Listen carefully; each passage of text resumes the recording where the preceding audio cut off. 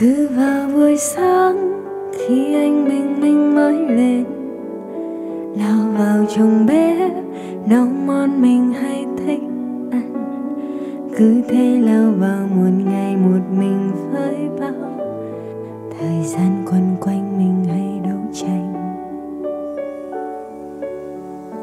Từ ngày gặp ai lòng em lại thêm bất an hướng vào tình ái, cứ hay ngồi suy nghĩ nhiều.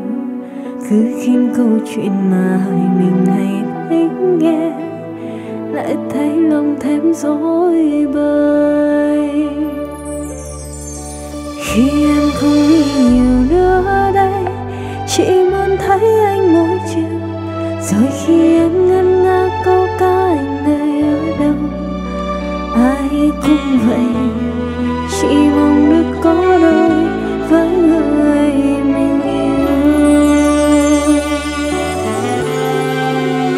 Khi mà lòng anh đã thấy anh không thể buông tay rồi. Khi mà hai ta đã thấy con tim chạm vào khoe mắt nhau. Mong ngày an yên phía trước sẽ không đổi thay đi, cùng nhau xa đi và